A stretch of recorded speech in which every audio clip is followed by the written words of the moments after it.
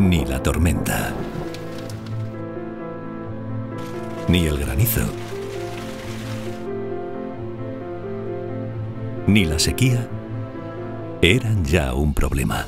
Nunca se habían sentido tan seguros. Ahora solo se preocupaban por labrar su futuro y el de su familia. Seguro Agrario. El secreto de los agricultores tranquilos. Más información en toda la red de oficinas COAG. Para una cosecha excelente, los mejores aliados. Belgro, el abono foliar diseñado especialmente para el olivo. Nordox, eficaz, respetuoso con el medio ambiente y posiblemente el mejor cobre del mundo. Tradición, innovación y futuro. Maso, soluciones de confianza. En Adamá sabemos que el olivar es un cultivo muy sensible a las malas hierbas. Por eso te traemos la solución para tenerlas bajo control. Con Aníbal tendrás más ventajas, más tranquilidad. El secreto, su doble modo de acción. Aníbal, la tranquilidad de tener las malas hierbas bajo control.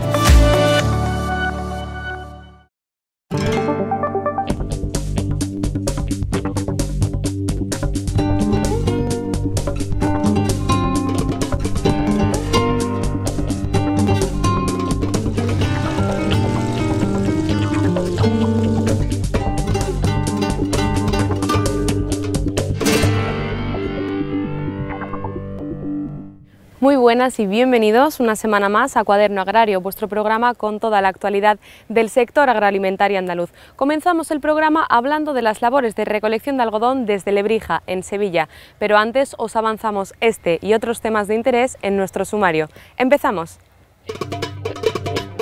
El Bajo Guadalquivir, concretamente la zona de Lebrija, inicia la campaña del algodón con las primeras labores de recolección.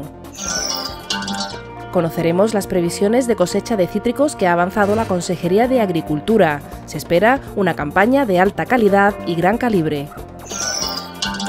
La campaña de almendra recién finalizada ha estado marcada por una caída de precios importante. Veremos cuáles son los motivos de ese hundimiento y conoceremos las perspectivas para el sector. Además, como siempre, la última información del sector agroalimentario andaluz en nuestra sección de actualidad, aquí, en Cuaderno Agrario. En Lebrija ya está en marcha la recolección del algodón, un cultivo emblemático en la comarca del Bajo Guadalquivir. La provincia de Sevilla libera la producción seguida de Cádiz. Andalucía suma este año una superficie de más de 61.000 hectáreas. La campaña del algodón ha comenzado en Andalucía.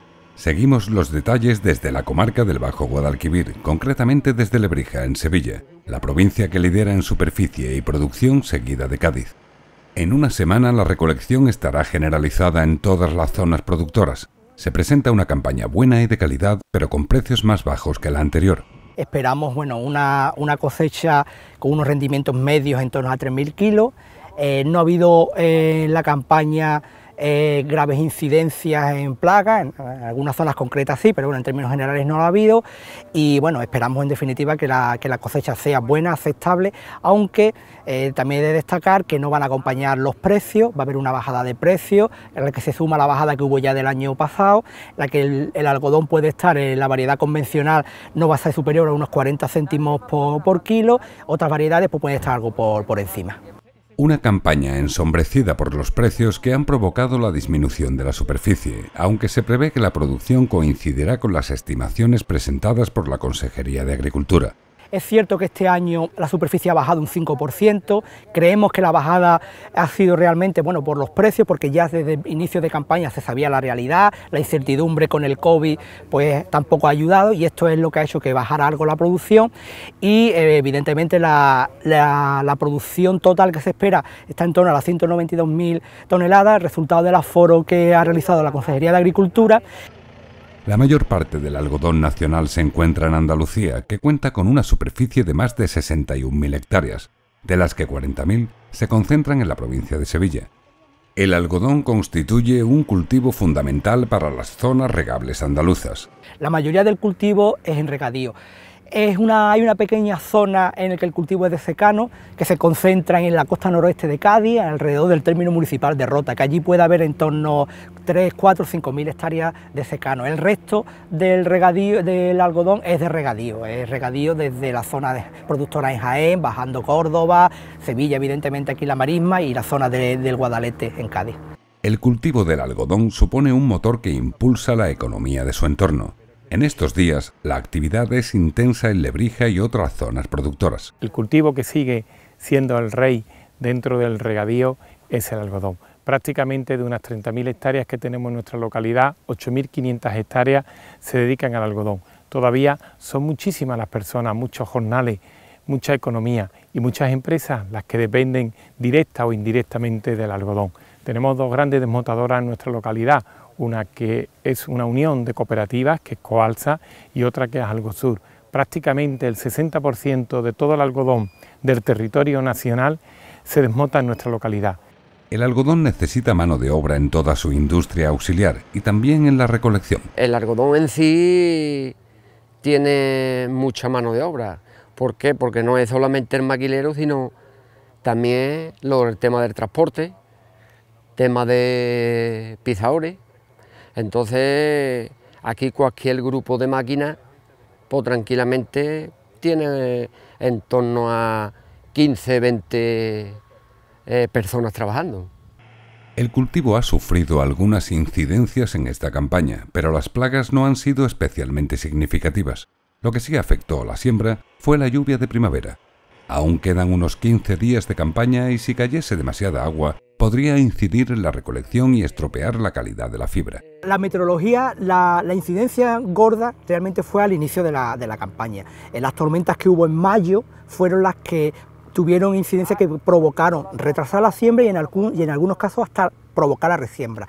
Las lluvias que, ha habido ahora, bueno, son pocas realmente, eh, no todavía no, produce efecto eh, en el cultivo. Es cierto que si las lluvias se generalizan, eh, aparecen las tormentas típicas ahora ya de final de, verano y principio de, otoño, con precipitaciones cuantiosas, pues sí, hará que la calidad sobre todo del cultivo baje, ¿no? la calidad de la fibra. Buena parte del algodón andaluz se cultiva bajo el sistema de producción integrada, lo que consigue una excelencia que lo diferencia del algodón del resto del mundo. El sector está unido y trabaja para que bajo la marca algodón europeo se reconozca esta calidad y mejore su precio. Nosotros como sector productor es lo que esperamos. Eh, se está trabajando de forma unida, con una única voz, para valorizar el cultivo. Tenemos un cultivo en la Unión Europea que es diferente del resto de cultivos eh, del algodón que se siembra a nivel mundial. ¿Por qué es diferente? Bueno, nuestra realidad, en tanto en mano de obra, porque no podemos producir con transgénicos, nos diferencia y eso evidentemente en zonas, por ejemplo, del norte de Europa, Reino Unido, eh, países escandinavos, se valora. Cuando las cápsulas están abiertas y la planta seca, el algodón está listo para su recolección y de él se aprovecha todo. El uso primario principal es el textil, la semilla de algodón se utiliza también para alimentación del ganado, es evidente. Además, conforma gran parte del precio final que percibe el agricultor. Y la última parte, lo que se llama eh, fibrilla, es decir, el, último, el último tejido que realmente ya no es útil, pues también tiene otra utilización en farmacias, el algodón, no sé, para, eh, para higiene personal, para higiene íntima, para los, eh, hasta los bastoncillos de los, oídos, de los oídos, y para todo eso tiene utilización. Las labores de recolección requieren cuidado y máquinas específicas para no dañar ni manchar la fibra. La cosechadora de usillo no es agresiva y deja al margen las impurezas de la planta respetando la blancura del algodón. El tema de la fibra tiene un, problema que la fibra no se puede, eh, lo que es el tema del color, tiene que ser la máquina, por eso te cuento, la máquina de usillo, porque es la única que no le va, que no le va a causar ningún problema en el tema de la hora de la recolección, porque por el sistema que tiene no pasa ni, ni lo que es aceite, ni líquido, nada. Es como el que dijo una cosa eh, ecológica, porque es que no le toca nada. El sector del algodón espera que esta campaña se desarrolle con normalidad y ver así su esfuerzo compensado. Año tras año, se vuelca en investigación y desarrollo para seguir avanzando. Su principal reto es mantener la calidad actual y asegurar la rentabilidad del cultivo. Les contamos ahora otras noticias de actualidad en el sector que nos deja esta semana.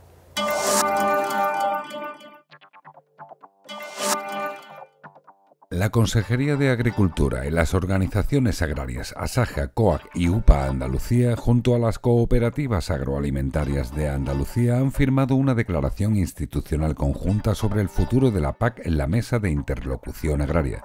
Esta postura común apuesta por la estabilidad y por la defensa del modelo basado en derechos y regiones que tan buenos resultados han dado hasta ahora. Tras el recorte del presupuesto de la PAC anunciado en julio y las recientes declaraciones del ministro respecto a un cambio radical del modelo, se han disparado las alarmas. Por eso, desde Andalucía piden al Ministerio de Agricultura que no se den giros antinaturales, ni saltos al vacío que rompan con un modelo que ha funcionado bien para el conjunto de España. Con esta declaración, el campo andaluz da continuidad al acuerdo firmado en 2018. Un año más, el sector del algodón se reúne para debatir y analizar la situación y novedades de esta campaña un tanto atípica. La séptima edición de Expo Algodón también será atípica, ya que se convierte en un encuentro virtual con las empresas tradicionalmente participantes, Guadalsem, Adama, Belchin, Eurochem, Sipcam y FMC. El encuentro tendrá lugar el próximo miércoles 30 de septiembre, comenzará a las 10 de la mañana y podrá seguirse en directo a través de YouTube.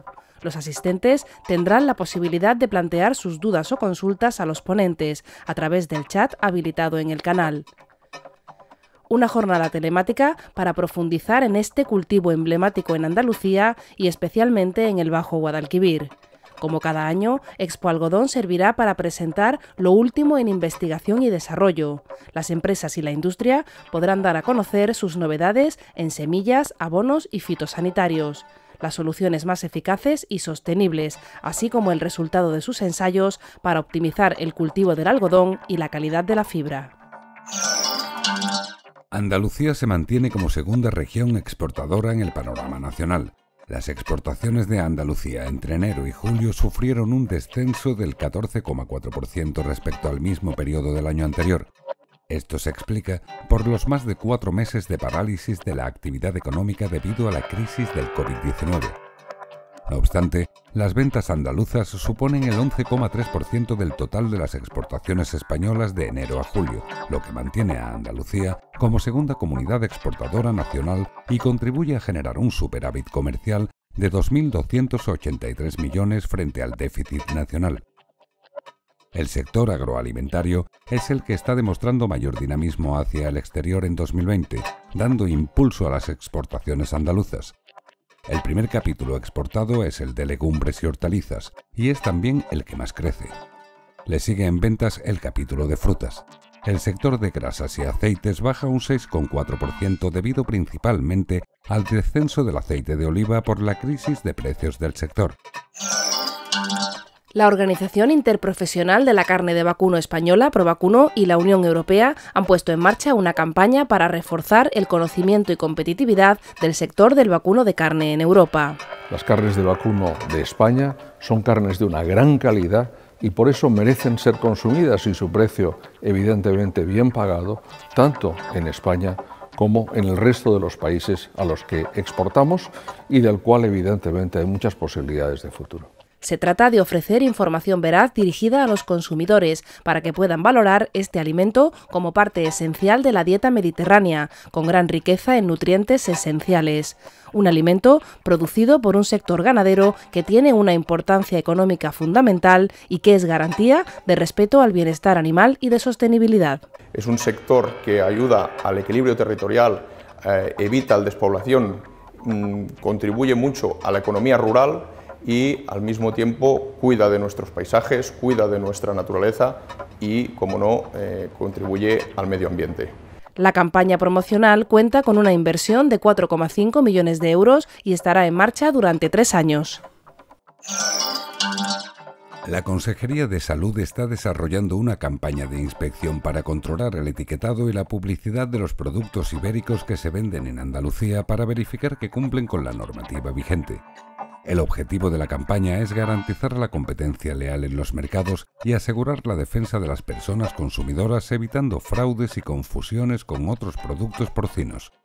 Las inspecciones se realizan sobre diferentes productos de cerdo ibérico, tanto frescos como elaborados, prestando especial atención a los productos fileteados o loncheados. En total, se realizarán 60 controles de etiquetado en supermercados, grandes superficies o tiendas de alimentación. El etiquetado debe recoger tanto el tipo de producto como de alimentación, que puede ser bellota, cebo de campo o cebo. También debe reflejar el tipo racial, indicando el porcentaje de raza ibérica. Con esos datos el producto llevará precinto negro si es 100% ibérico de bellota, precinto rojo si es ibérico no al 100% y de bellota, precinto verde si es ibérico de cebo de campo y precinto blanco si es ibérico de cebo. El Consejo de Gobierno ha dado a conocer diversas iniciativas, entre ellas la concesión de ayudas a industrias oleícolas y de aceituna de mesa, por valor de 32,6 millones de euros. 87 empresas se beneficiarán de estas subvenciones que pretenden aumentar la competitividad y el valor añadido de los productos agrícolas mediante la implantación de nuevas tecnologías, reforzando el control de la calidad y trazabilidad y mejorando el posicionamiento en los mercados. Por otra parte, se han dado a conocer las medidas preventivas y de protección ante la COVID-19 destinadas a los albergues y residencias de temporeros. Para limitar los contagios, se reducirán los contactos, evitando la coincidencia de trabajadores de distintas explotaciones, y se reforzarán la limpieza y la ventilación ya se conocen las primeras estimaciones de cosecha de cítricos. Según el aforo del Ministerio de Agricultura, la producción media se situará en un 5% por encima de la media. El sector recupera su potencial productivo medio tras una campaña 2019-2020 muy corta. La Consejería de Agricultura ha presentado las previsiones para la campaña de cítricos 2020-2021. Las estimaciones apuntan a una cosecha de más de 2,3 millones de toneladas. Esto supone un tercio de la producción española, que según el Ministerio de Agricultura llegará a 6,9 millones de toneladas. Las principales productoras son las provincias de Sevilla, con 934.500 toneladas, Huelva con 578.100 toneladas y Córdoba con casi 378.000. Andalucía cuenta con una superficie de cítricos de unas 85.200 hectáreas, de las cuales 57.500 corresponden a naranjo, casi 20.000 a mandarino, más de 6.500 a limón y casi 1.150 a otros cítricos. Las previsiones apuntan a que será una campaña de alta calidad y gran calibre. Desde la Consejería han hecho hincapié en que no se debe recolectar en verde y han anunciado que para evitar esta práctica se van a intensificar los controles. En cuanto a la producción de las diferentes variedades, destacan especialmente las naranjas dulces, que concentran el 72% de la producción, lo que significa más de 1,6 millones de toneladas. Le siguen las mandarinas que representan el 22%, con más de 520.000 toneladas. En tercer lugar, a bastante distancia, se sitúa el limón, que con cerca de 110.000 toneladas supone el 5% de la producción. En las estimaciones a nivel nacional, el Ministerio de Agricultura también ha presentado su aforo y ha hecho balance del año que se cierra. Destacan que la próxima campaña permitirá recuperar el potencial productivo, ya que la anterior fue muy corta, si bien los precios fueron mejores que en años anteriores. Tanto el comercio como el consumo funcionaron bien a pesar de la pandemia, y las exportaciones comunitarias fueron de récord, mientras se redujeron notablemente las destinadas a países terceros. Ahora, como siempre, les mostramos cómo han evolucionado los precios del mercado esta semana.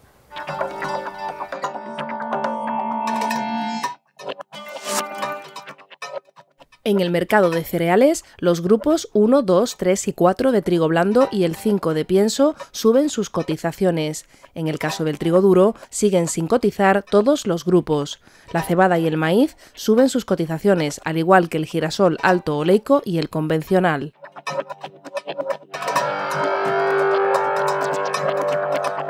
Esta semana el precio del aceite de oliva registra algunas variaciones. El aceite de oliva virgen extra baja ligeramente y se sitúa en 2,11 euros por kilo. El precio del aceite de oliva virgen sube hasta 1,85 euros por kilo, al igual que el del lampante, que se sitúa en 1,79 euros por kilo.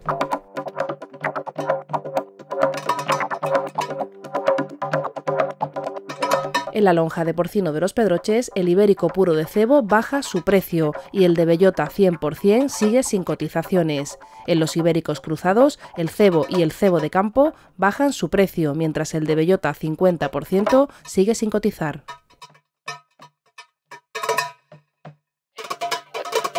Casi un 40% han caído los precios de la almendra andaluza debido a las masivas importaciones de la almendra de California que lidera la comercialización mundial. En nuestro siguiente reportaje analizaremos la situación de los mercados y los datos de la última campaña.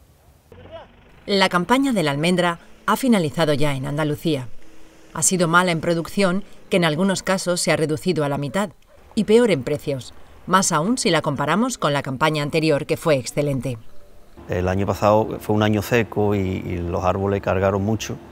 Y claro, y eso, mm, eso lo, ha, resentido este año, que, las reservas eran escasas y ha, tenido menos producción, aunque ha llovido en primavera, pero, pero la producción ya estaba fijada desde, desde el año pasado. La calidad de la almendra ha sido muy buena, pero este año la campaña ha estado marcada por el hundimiento de precios. Nada que ver con la primera estimación de cosecha de 29.300 toneladas realizada en julio por el Grupo de Trabajo de Frutos Secos. El cultivo ocupa en Andalucía 125.000 hectáreas. Por provincias, Granada lidera la producción y la superficie, seguida de Almería, mientras que Córdoba y Sevilla destacan en rendimiento por hectárea. El año pasado teníamos en secar unos rendimientos medios de unos 700-800 kilos de pepita y este año estamos hablando de, 300, 400 kilos de pepita en secano. Y en riego sí, sí se han mantenido, lo, hemos rozado los 2.000 kilos de 1.600, 1.700 de media, han llegado producciones a 2.000, 2.000 y algo kilos y también producciones de árboles más jóvenes que no estaban en plena producción, que han, han estado los 1.000 y algo kilos de pepita. En torno a un tercio de la producción nacional de almendra es andaluza. España es el tercer productor mundial, siendo California que lidera el mercado internacional. Y precisamente son las importaciones procedentes de California las que, según UPA y COAG, han provocado la caída de los precios. Los americanos, pues claro, ellos están teniendo una buena producción y, nos, digamos, nos establecen un poco el mercado también. Traen mm, almendras de baja calidad la meten en el mercado, hay más oferta, pues claro, los precios.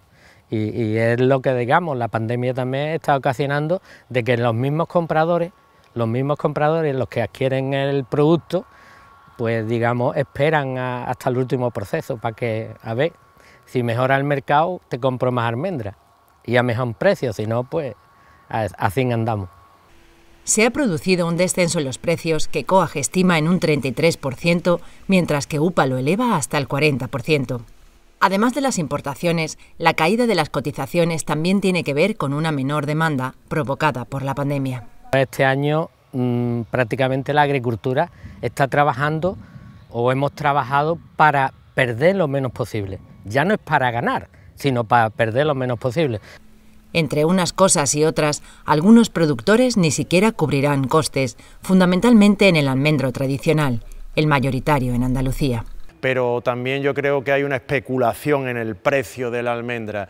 Eh, se nos dice que está viniendo almendra eh, que no paga los aranceles de California, eh, una almendra que no cumple con la huella del carbono, es decir, viene de a muchos kilómetros, con lo cual aquí la almendra española, que tiene mucha mayor calidad, como ya han dicho los técnicos, eh, se está viendo afectada en el precio porque hay gente que está especulando con el mismo.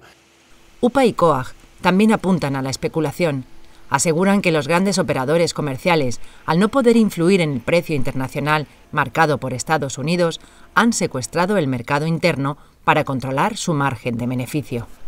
Por ello, COAG, que considera que las cotizaciones se alejan cada vez más de la realidad del mercado, pedirá una investigación en las principales lonjas de referencia. Nosotros los agricultores, como siempre, nos volvemos a ver afectados eh, ante estas especulaciones. En las lojas sabemos el precio que hay. El año pasado obtuvimos grandes rendimientos, estaban hablando de 2, 3 euros menos de la pepita de almendra con respecto al año pasado y eso está pasando en todos los cultivos. Yo decirle a los agricultores que vosotros sois lo que os estáis viendo afectados, al igual que nosotros. A nosotros nos pagan menos y vosotros pagáis más por menos calidad. El sector asegura de forma unánime que la almendra andaluza supera en calidad a la de California. Las cualidades organolépticas de, la producida aquí en Andalucía mm, es mucho mayor que la almendra americana. La almendra americana, cualidades organolépticas muy poquitas. Y además están súper tratadas, las recogen del suelo, para micotocina tienen que, que tratar. Aquí, por ejemplo, no tenemos ese problema. En cuanto a las incidencias del cultivo, tras un otoño e inviernos secos, llegó una primavera lluviosa que provocó algunas enfermedades. Desde floración hasta, hasta hinchazón, de, hasta el, fruto, transformación del fruto. Ese, momento es muy sensible para enfermedades y, no ha parado de llover y, se ha resentido. Hemos tenido que, esmerarnos mucho en los tratamientos, incluso con eso ha habido más enfermedades que el año pasado. El año pasado fue un año que, prácticamente no hubo apenas enfermedades. Este año sí, este año sido bastante, ha bastantes enfermedades criptogámicas. Se cierra así una campaña que ha dejado mal sabor de boca, sobre todo después de la producción histórica del año pasado, que supuso un importante espaldarazo para el sector de la almendra. Esta campaña ha sido decepcionante, pero los agricultores andaluces siguen apostando fuerte por este cultivo. Hasta aquí el programa de hoy. Esperamos que hayan disfrutado viéndolo tanto como nosotros haciéndolo. Podrán seguir informados de toda la actualidad del sector agroalimentario mediante nuestras redes sociales. Pueden encontrarnos en Twitter, Facebook, Instagram y en nuestro canal de YouTube. Nos vemos la semana que viene aquí, en Cuaderno Agrario.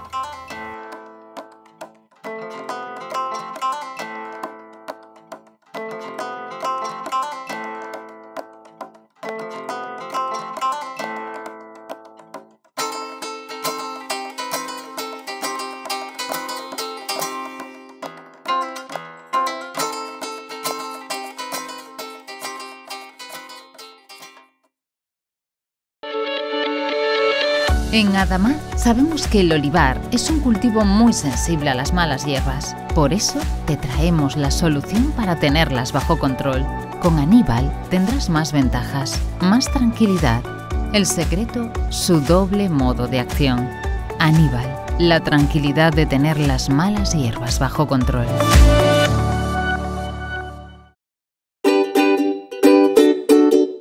Proteja sus cultivos de pimiento, tomate y pepino con los mejores aliados. Cordial, la piretrina natural del futuro, rápida acción y baja toxicidad. Prestop, el fungicida para la botritis y hongos de suelo, la nueva herramienta biológica para horticultura segura con el medio ambiente. Maso, soluciones de confianza. Ni la tormenta, ni el granizo ni la sequía eran ya un problema. Nunca se habían sentido tan seguros. Ahora solo se preocupaban por labrar su futuro y el de su familia. Seguro Agrario. El secreto de los agricultores tranquilos. Más información en toda la red de oficinas COAG.